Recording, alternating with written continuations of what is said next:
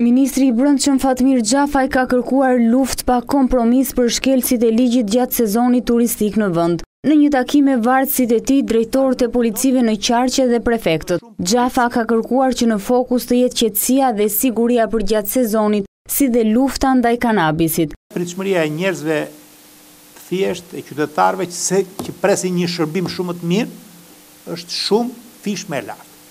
Çfarë nënkupton më shumë përgjegjësi për ne? Një tjetër shqetësim që përballen qytetarët në më shumë se dy dekada janë zhurmat tej normave të lejuara nga lokalet dhe baret duke filluar në qytete e zona turistike, si dhe motorët e ujit në hapësirat e plazheve.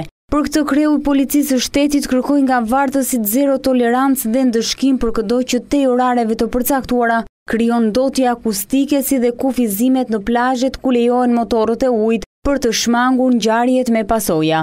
Për sa i përket pjesës së kufizimit dhe rritjes së sigurisë në ujë, për sa i përket kufizimeve që duhet të bëjmë në hapësirat apo në pjesët ku janë përcaktuar për plazhe, qofshin këto publike apo private, duke mos lejuar qarkullimin e mjeteve motorrike, qofshin gomone, qofshin skafe të vegjël apo motorë uji, me qëllim parandalimin e ngjarjeve aksidentale. Një tjetër fokus i policisë në këtë periudhë janë edhe pikat kufitare, ku në çdo të tillë do të punohet me kapacitete maksimale për të shmangur radhët e gjata dhe pritjen në kufi për turistët dhe kalimtarët.